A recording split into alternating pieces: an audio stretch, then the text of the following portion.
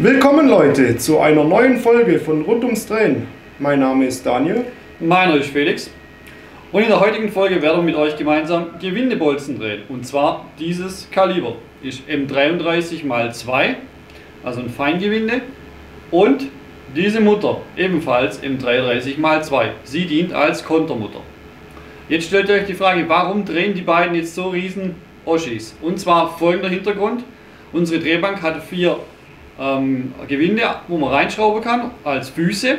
Diese vier Bolzen werden uns als Drehbankfüße dienen, mit denen wir die Drehbank anheben können, wenn wir das nächste Mal wieder zu einem Oldtimer-Treffen fahren werden, damit wir mit dem Hubwagen leichter drunter kommen. Oder aber, um sie natürlich auch auszurichten, egal wo wir sie wieder aufstellen wollen, sie muss natürlich perfekt ausgerichtet sein. Die nächste Frage, die euch bestimmt stellt, ist, wie zum Kuckuck kommen die zwei auf M33x2? Wie man Gewinde bestimmt, ohne zu wissen, was es für eins ist, das zeigen wir euch im anderen Video. Und deshalb wünschen wir euch viel Spaß bei diesem Video. Ganz genau.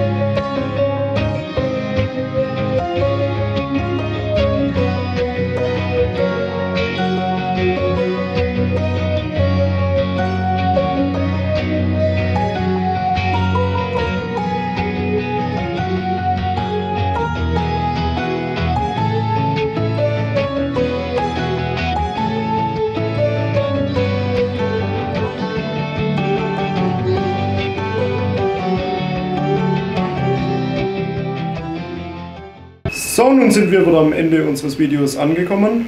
Ähm, wir zeigen euch auch mal in einem anderen Video noch, wie man mit den Füßen die Drehmaschine ausrichten kann.